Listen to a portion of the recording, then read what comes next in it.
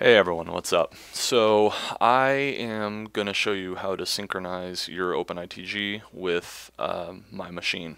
So I am using OpenITG. You can do this with other applications like StepMania 4, 5, whatever, um, but I really suggest when you're done with your song, do it in OpenITG for the final cut and then save it just to make sure it all works. Um, there have been compatibility issues in the past and this is the easiest way to avoid them. So get the song I'm providing, the song sync file, put it in your songs folder, put it in the right uh, subfolder, and here's where I have mine, in progress, song sync. There's only a novice chart, that's all it's needed. You hit it, uh, I'm going to let it you see what this song is.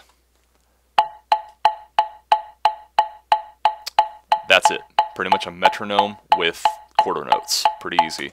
So what you're going to do, StepMania used to have this to calibrate it to your computer. And this is pretty much going to do the same thing for you. Uh, you're going to hit play, shift P. You're going to hit F6 a few times until it says auto sync machine. And then when you're ready, just hit left and right in progression. Tap, tap, tap, tap, tap, tap, tap, tap. Yeah, you can see I'm not too accurate. After enough hits, it will calibrate See, if you're way off, like too far off, it'll give you that error. So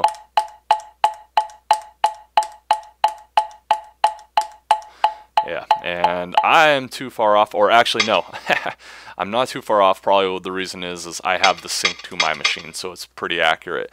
Um, but the auto sync works well. It won't work if it's too narrow of a margin or too wide of a margin uh, of error. So this is the easiest way to sync. There is going to be a more complex way I'm going to talk about in a second, but that's pretty much it. You just get this sound file or this simfile uh, on your computer, play it, and then make sure auto sync is on, it's off, auto sync song, make sure it's on auto sync machine.